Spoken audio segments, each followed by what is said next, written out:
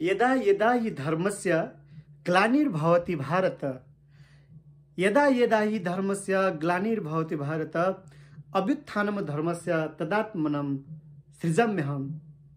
भगवान् श्रीकृष्णले महाभारतमा भन्नुभएको छ हे अर्जुन जब जब यो धरतीमा पापीहरूको सङ्ख्या बढ्दै जान्छ तब पापीहरूको नष्ट गर्नको लागि विनाश गर्नको लागि म फेरि फेरि जन्म लिनेछु। त्यस कारणले गर्दा हामीले केही चिन्ता गर्नुपर्ने अवस्था छैन। हामी भित्रको पाप हामी भित्रको अवगुणहरू नाश गर्नको लागि भगवान् श्रीकृष्ण जन्मनु भइसकेको छ। बुझ्नुभयो त मामा? यति हो कुरा।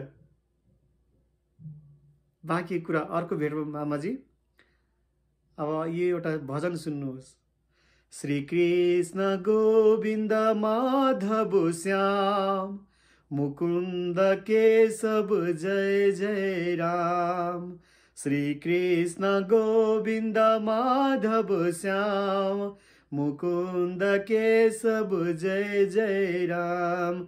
श्री कृष्ण गोविन्द माधव श्याम मुकुन्द केशव जय जय राम श्री कृष्ण गोविन्द माधव श्याम मुकुन्द केशव जय जय राम।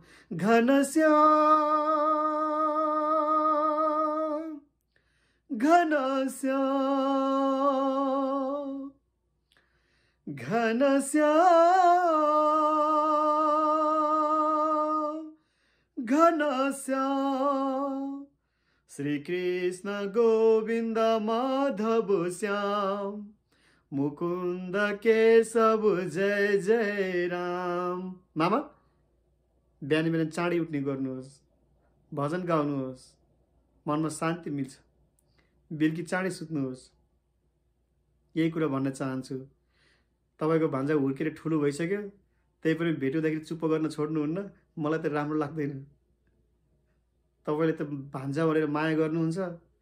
मलाई चाहिँ झ्याउ लाग्छ फेरि। खालि चुप्प गर्नुहुन्छ मामाले। गालामा? हरे कृष्ण मामाजी पछि भेटौँला फेरि।